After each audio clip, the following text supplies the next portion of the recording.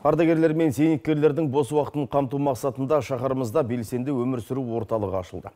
Орталықта әр сала бойынша 17 клуб жұмыс істейді. Толығырақ мекеменің жұмысымен танысып қайтқан тілші әңгімесінде.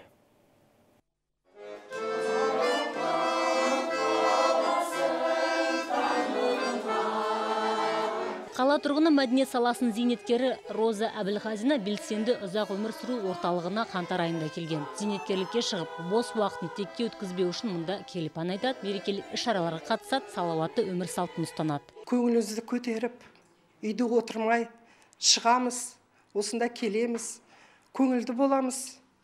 Осы барған жерлеріме төлдерін айтам, осындай клуб бар, осындай нелер бар, денені денені шынықтыру нелер бар скандинавская ходьба деген солар бар.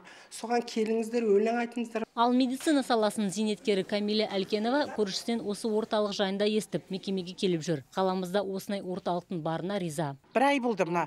Иә бір ай бір ай болды міне нетіп осында келіп жүргеніме. Өте жақсы тамаша. Мына менің көршім алып келді көршім осында қатысады екен. Сол көршім алып келді міне уже екі рет концерт бердік. Бір рет ардагерлер үйіне бір рет мына неге дом престарелых дейді ғой енді.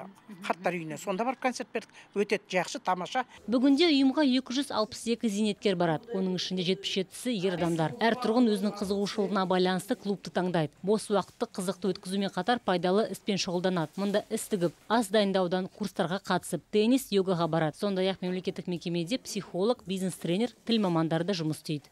Когда приходят к нам пенсионеры в наш центр, зейнеткерлер орталыққа келген уақытта оларды алдымен кеңесшілер қабылдайды. Осыдан кейін психологпен жұмыс жасап оның нәтижесі бойынша топтар құрылады. Зейнеткерлер айына үш рет белгіленген арнайы күндері театр мұражайларға барады. Келіп қатысам деушілерге есік ашық. Тренинговые группы. Орталық қалалық және республикалық бюджеттен қаржыландырылады. Әйгерім тоқпанқызы аман байымбет ертіс ақпарат.